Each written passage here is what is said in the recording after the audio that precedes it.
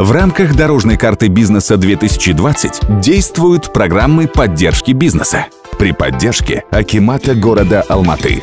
Первое. Поддержка бизнес-инициатив. Нацелена на бизнес-проекты, реализуемые в моногородах, малых городах и сельской местности.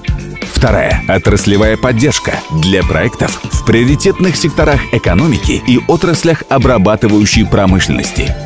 Третье. Снижение валютных рисков для предпринимателей, имеющих валютную выручку. Фонд Даму. Наша поддержка – ваше развитие.